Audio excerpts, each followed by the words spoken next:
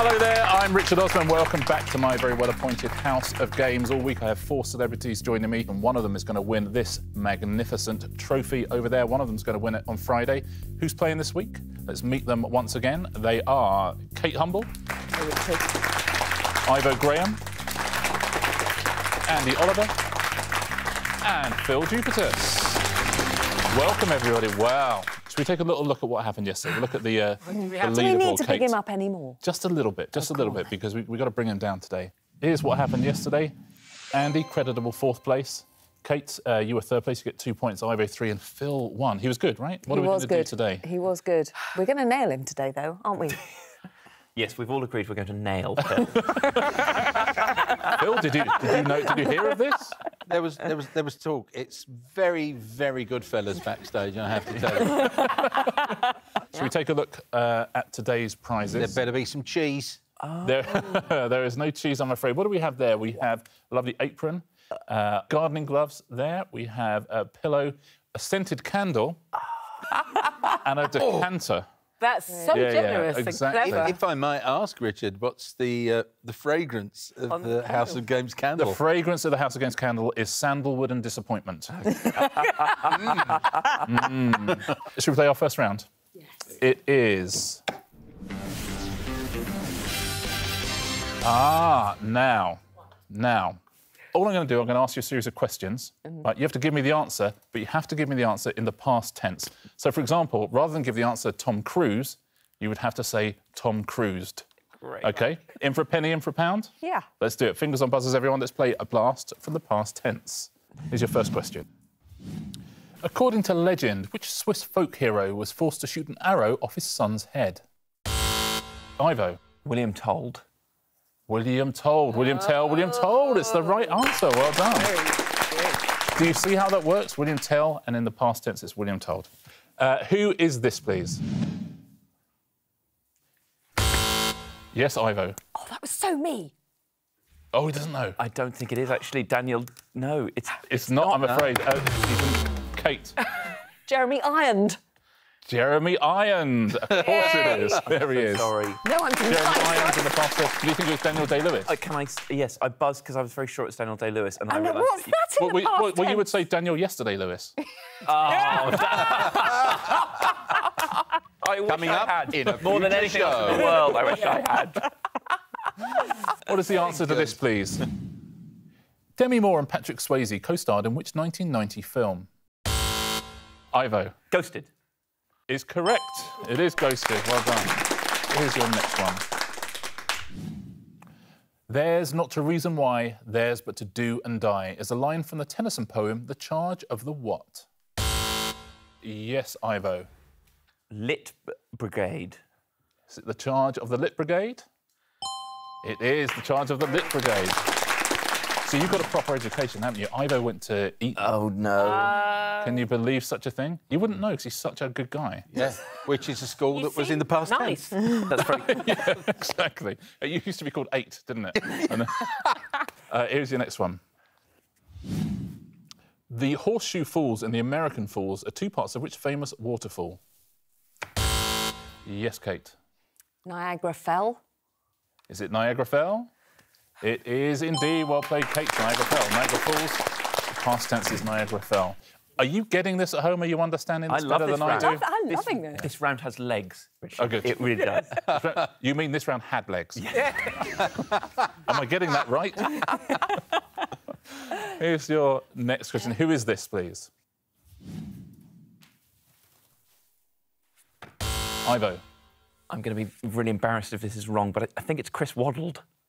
Is it Chris Waddled? It is Chris Waddled. Well done. Chris Waddled, Chris Waddled. Here's your next one. What is the English title of Vivaldi's violin concerto in E major, La Primavera? That is Kate. Uh, sprung. It's the right answer. Spring becomes sprung. That's quite a classy one to get, isn't it? Well, obviously Kate's got it because she works on Sprung Watched.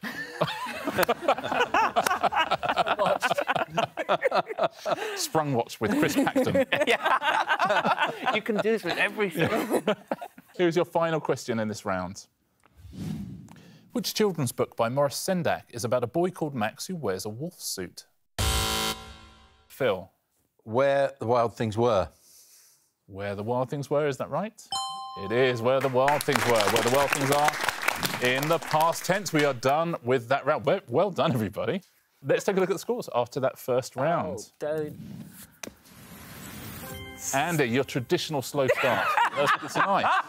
I wouldn't want to break with tradition and No, upset the apple cart. Exactly. People, people at home like to know what they're watching. Yes. Yeah. Yes. Uh, Phill, you have one point. Kate, you have three points. We have an early leader, and it is Mr. Ivo Graham. Four points. Let's take a look. What's round two going to be today? Oh, it is dim sums. Oh, dim sums. no. This is. there you are. You see, you don't even know what it is, and you're saying, Is it, "Oh, well, is it anything to do with maths? it might only a tiny bit. I'm the but worst. here's the good news, though. This is a pairs game. Oh, So yay. the person in last place Traditionally me. gets to choose their partner. Uh, I'm being told by the authorities that today's Andi Oliver is in last place. Uh, Andi, Down who the would you like to be paired with in this round? Um, well, traditionally I go with the person winning, so I'm going to choose you, Ivo. Go with welcome Ivo. Hello. Ivo and Phill, if you will change places. I- Andi teamed up with Phill Surely they yesterday. taught you maths. Hi, Phill Jupitus. Great pleasure. Oh, lovely, lovely to meet you. Worst. OK, here's what we're going to do. We'll start with you, uh, Kate and Phill. I'm going to show you four categories. You're going to choose from one of these, please. And they are Strictly Come Dancing, Christmas, Ball Sports, Jane Austen. Do you think I- I- Christmas? I, go, you go with absolutely. You go with Christmas, Christmas. please. Christmas, OK. Mm-hmm. Thank you. And this is the sum you're going to have to complete. Something minus something else equals 0 mm-hmm. Okay, you now have to mm-hmm. fit in that sum using two of the facts I'm about to show you. Ah. Okay. Yep. Here are the facts. The number of reindeer named in the Clement Clarke Moore poem known as "Twas the Night Before Christmas." So that's Santa's reindeer. Yep. The number of films in the Home Alone series, according to IMDb. The number of different instances a group with Band Aid in their name has recorded the song Do They Know It's Christmas? And the highest ever position in the UK singles chart of Wizzard's I Wish It Could Be Christmas Every Day. Now, all of the answers there are numbers, and two of those numbers will make that sum. Something minus something else equals zero. Two of those answers will give you that sum. I'm immediately thinking Home Alone Band Aid. That's what I was thinking as well. What do you What do you think the numbers are in those? I think it's three and three, but um, yeah, I think there were three. And I And think there were three three versions of versions of Band-Aid. Band Band Aid. So you're going to go with Home Alone minus Yeah. Band Aid. Yes. Um, so how many films were there in the Home Alone series? Let's fill that in in the sum. Oh, Five films. Can't have been. Were there? Yeah. Uh, and how many? So you need there to be Reindeer. five versions of Band Aid for this to work. not. Were there? Four versions of Band Aid. What was the correct sum there? It's going to be reindeer and home alone, isn't it? Versions of Band Aid, and I wish it could be Christmas every day. Both How about four. There you are. Um, Ivo and Andi. I need a category from you. Yeah, I'm up for ball sports. Yeah, we'll do ball ball sports? sports. Yeah, ball sports. Okay, ball sports. Here's your sum. Which of these two clues will fit in that sum? Number of people in a men's lacrosse team. Oh, You should know that. That's quite. That- yeah, you should. That's a bit, that's a bit Eton isn't that's Isn't that a bit Eton-y? That's a bit Yeah. Eton-y. Yeah. a little bit. I like that. Cross. Uh, in football, the number of yards between the penalty spot and the goal. Or you. The number of points in basketball for scoring from outside the semicircle. And the number of players in a baseball team. I reckon it's about seven in a lacrosse team and about ten in a baseball team. I, I would say. So points in basketball, I reckon that you probably get about three. Yes, I reckon so it's the points go in well, points in basketball. basketball and players in a baseball team. But you sure baseball? Because I love no, talking about lacrosse. lacrosse now. Let's go lacrosse. Basketball points plus lacrosse team. Yeah. Uh, let's take a look. How many points do you get for shooting from or from scoring outside the semicircle in basketball? You get three. You get three. So you need there to be 10 players on a men's lacrosse team to get yourself It's too many. It's too many. Two minutes, two minutes. How many Bloody players eight, are there on a men's lacrosse team? It's eight, I think. 10 players. Very well done. Yay! Look, we've all learned something there, haven't, we? Haven't Which is how many players there are on a lacrosse team. 10 plus 3 equals 13. Very well done. If you got that home, yeah, three points for uh, outside the semicircle in Oh, basketball. phew, I'm off zero now. Uh, players on a baseball team, nine, and yards between penalty spot and the goal, 12 yards. Um, Ivo and Phill, if you swap back now, please, Oh. gents. And let's take a look at what that has done to the scores. After two rounds on Tuesday's House of Games, Andi and Phill both with one point. Kate, you have three points. Ivo still in the lead, five points. Without further ado, let's go on to round three. And today, that is. Z to A. In this round, we put up three clues at a time and reveal the letters to those clues, one letter at a time backwards from Z to A. We need the connection between the three clues. Buzz in when you see the connection. What's the connection between these three words? We reveal them letter by letter from Z going all the way up to A.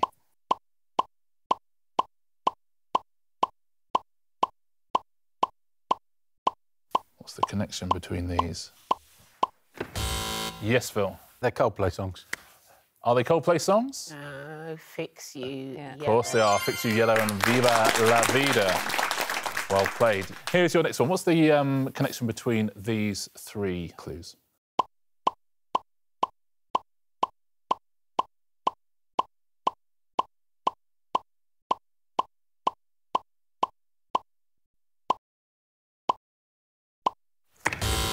Yes, Kate. Oh, Salads. Are they all salads? They are panzanella, Waldorf, and Caesar. You got that home, well done. You got it before Kate. Here are your next clues. What connects them? Bottom one's a long one. Yes, Kate. Uh, cities in Canada. We can't take it, I'm afraid. It's open again for anyone else. Phill. It's states in provinces in Canada. Yes, we'll give you that. Provinces in Canada, Phill. Well done. That's unlucky, Kate. Quebec, Ontario, and Saskatchewan. Here's your next one. What uh, connects these three clues? I'd love it if someone buzzed in now.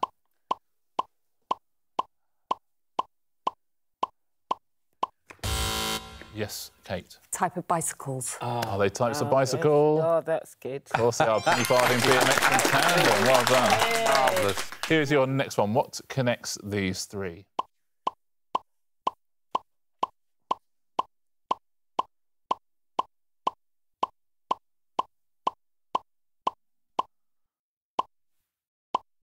Ivo. Horror movies. Ho- is it horror movies? Saw, Scream, Halloween. It is Saw, Scream, Halloween. Well done. What is the connection between these three clues, please?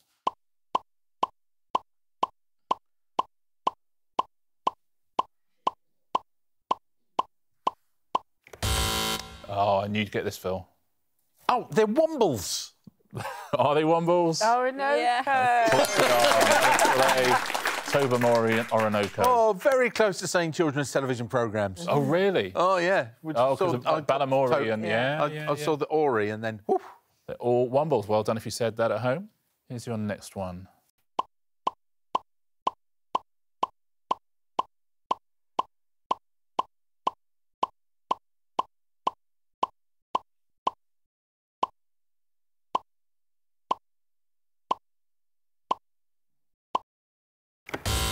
Phill. Uh, it's, uh, bingo callers numbers. Yes, it is bingo calls. Well played. Uh, we've got every single letter there. Wow. Here's your final question in this round.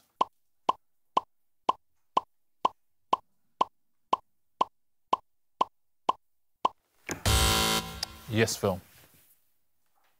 Crisps.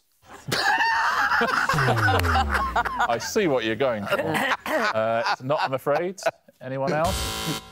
Yes, Ivo. Um, they are musical notes. The lengths of lengths of um, beats. I know what you mean. Come like on, in the musical, music. musical notes. Uh, is that right? Quaver, semi-breve, crotchet. Now, Phill, that is you and I, sir. That's that's the difference between a comprehensive school education and going to eat Right there. Is that we see Q U V E R. We're like we're Quaver. Uh, whereas Ivo, who I just assume has had violin lessons. Right there. this suddenly became class war. A crotchet is what I call two quavers when I eat them. Oh, lovely. That's nice. I love. I love the fact that so many people at home would have got crisps. Yeah. Like, I was looking for Monster Munch right there. Looking for Monster Munch. That would be a good, Kate Humble looking for Monster Munch. would be a really good BBC Two documentary series. that be amazing? I would watch that. Yeah. Uh, a good round there. Great round for Kate. Let's take a look at what it's done to the scores. Andi uh, has one point. Five points for Kate and for Phill, and still in the lead, seven points, Mr. Ivo Graham. You're maintaining this lead, Ivo. But I'm uh, I'm very aware of what people in the industry call the creep of Jupiter. Two rounds to go. What is round four going to be today? It is. Where is Kazakhstan? This is played on your tablets, please. I'm going to show you a map on your tablets. I'm going to ask you a series of questions. You have to find on the map where the answer is. Here's today's map a map of Europe. Here's the first thing I need you to mark on your map. The volcano which erupted in 79 AD, burying the cities of Pompeii and Herculaneum. Where was that volcano? So, do you know what it was? And if you do, do you know where?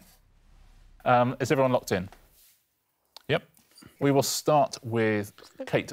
What country were you thinking? Uh. Italy. Italy. And where have you gone? Let's see where Kate has put her mark. Down at the bottom of Italy there. Ivo, do you know the volcano? I believe it was Mount Vesuvius, Yes. but I don't know where it is in Italy. I, I've You- gone but Italy you as think well. it's in Italy. You've gone Italy as I well. just went halfway up. There you are. Andi, where did you think this was? Italy. Excellent. We're all in Italy. Where in Italy have you gone? Um, sort of about uh, near where Ivo is, actually, in the middle there somewhere. I mean, I have no idea where it was in so I just stuck it in the middle.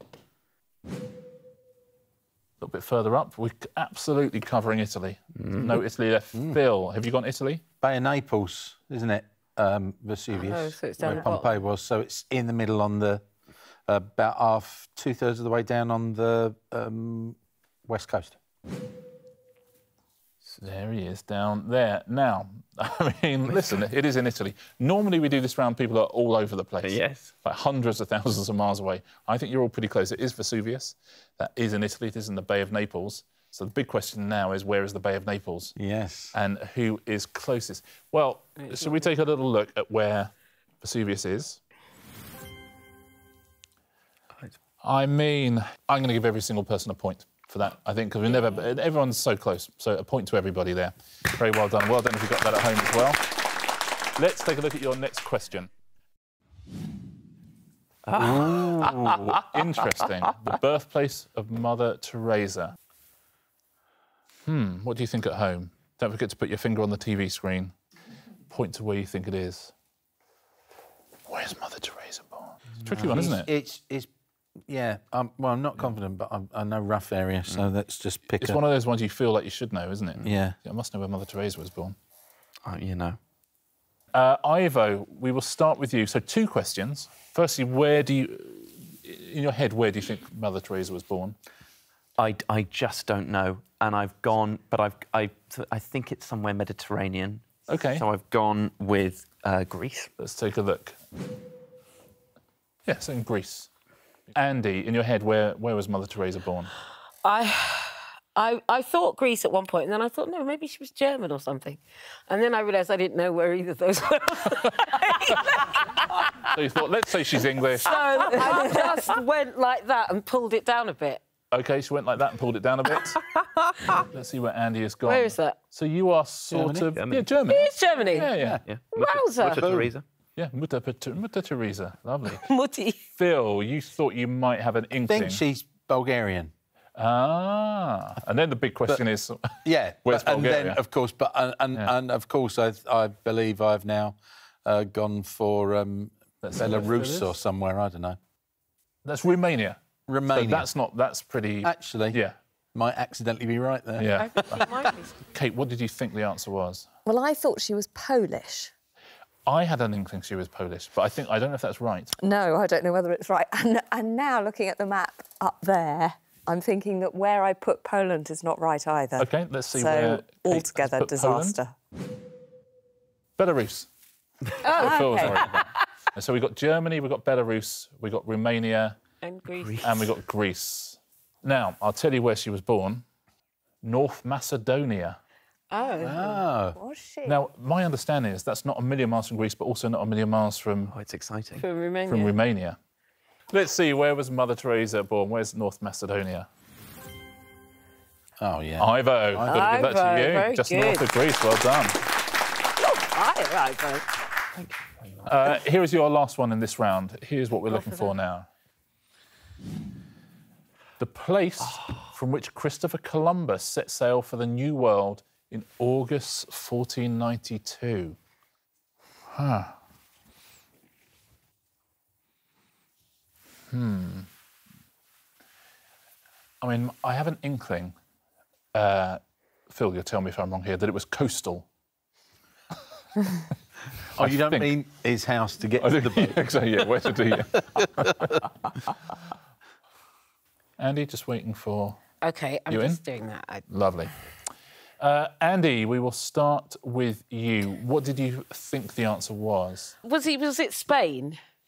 So you thought Spain? I thought Spain, and then I thought, but then and I got very confused, and I've gone over here, which I think is Let's France. take a look at where I think Andi I've has gone to put France. Spain. I got confused. I mean, if he sets sail from France, you are laughing. Phill, in your brain, where did he set sail from? um, 1492. I don't know what Spain's relationship with Portugal was like, either at war having recently conquered or, uh, you know, maybe they had some sort of treaty with Por- the Portuguese. So you thought Portugal. I thought maybe Portugal. I thought it was either Spain or Portugal. yeah. I think I'd gone so I, I popped it halfway up Portugal, not too far. I'll just pop this halfway up Portugal for you. You're like a delivery guy. I'm sorry you're out. I pop your parcel Yeah. halfway up Portugal. not too far from Faro. You know. Let's have a look at Phill's dot. There he is, Portugal. Um, Kate, what do you think the answer was? I've put him kind of Malaga direction, but southern Okay. Spain. Let's see where Kate has gone. Lovely, kind of Malaga-esque. Uh, and Ivo, what were you thinking the answer was? I'll come clean. Thought he was British. So, uh, Really? yes. Columbus?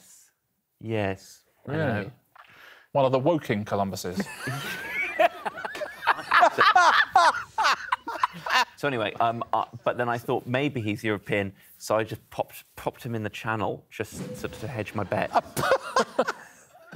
Shall we take a little look?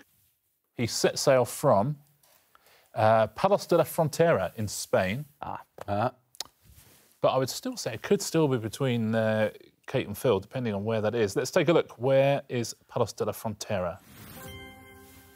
Oh, it's exactly Okay. on where Kate Humble was. Kate Humble wins a point. Very well played.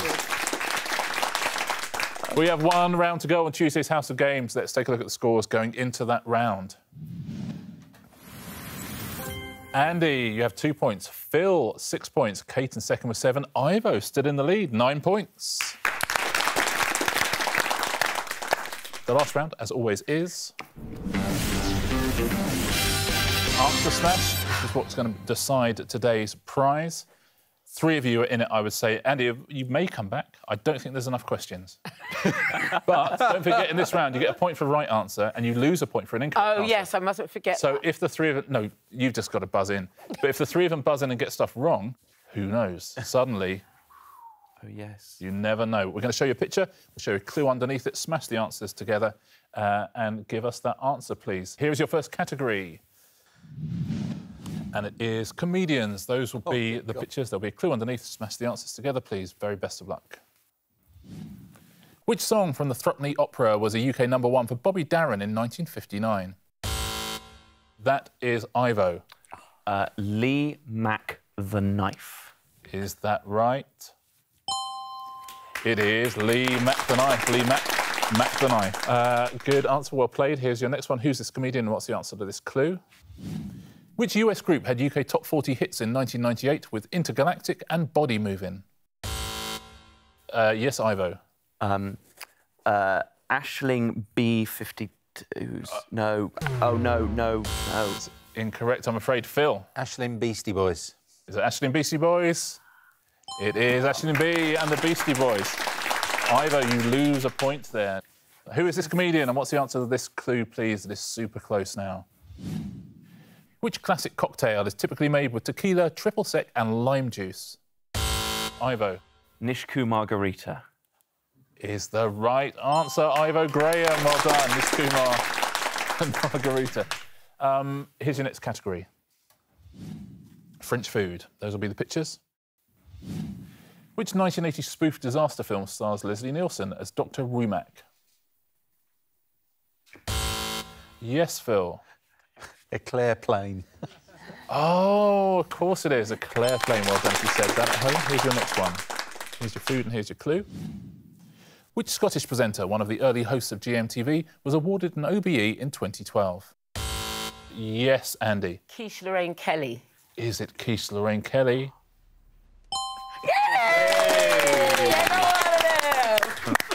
There we go. That's your first answer, Smash Andi. How does It that is feel? my first answer, Smash. Excellent. Anyone can win. Good. Quiche Lorraine Kelly. Well done if you said that at home. Here's your next one. What's this food and what's this clue? Grace and Favour was a spin off of which British sitcom? Yes, Phill. Tartar you being served. Oh my God. We will take that. It is steak tartare you being served. Well done. Um, here's your next category. Film directors. You see a picture of a film director. Smash it together with this clue, please. Which popular saying featuring two farm animals is used to refer to a ridiculous or implausible tale? Phill, Alfred Hitchcock and Bull Story. is that right? Of course it's right. Alfred Hitchcock and Bull Story. Alfred Hitchcock and Bull Story is your next film director. Swedish group Rednex achieved a UK number one with which song in 1995? Phill. Ridley Scott and I Joe. Ridley Scott, Cotton Eye Joe is the right answer. Here's your next film director, your next clue. There are no more. Now, He's won. that's super close, I think. Who has won Tuesday's House of Games? Phill by one point. Phill Jupitus is our winner. Ivo threw it away. Threw it away. That's what we call what we call in the business a bottle job there from Ivo Graham. uh, great performance there, I'll Phill, in that last round. Andi, three points. Kate, seven points. Ivo, ten. Phill, Jupitus, another win. Phill, are you okay, Ivo? No. I had Aisling Beastie Boys just there. Oh, And you let it go. And I've let down Hey. my family, but I've also let down the hip hop community. Phill, congratulations. Two wins in a row. And that means two prizes in a row as well. What are you going to go with? I'm going with the apron because uh, that cheese splashes when it comes out. Oh, that yeah. Essentially, you got yourself a fondue apron. Those gloves might be quite lovely. handy with the fondue, actually. I know, but how hot do you want your cheese? Phill pick your Jupitus. prize. Phill Jupitus takes home uh, the House of Games. apron. Shall we look at the weekly leaderboard? Oh, do we have See where we are? We do, I'm afraid, Kate. Uh, Andi, you have two points. Kate, four. Ivo, six. And Phill up there with eight points. We'll take those points through to Wednesday's show. What a pleasure once again. We've had two lovely days. Uh, I'll see you back here again, same time, same place tomorrow. We'll see you as well on the House of Games.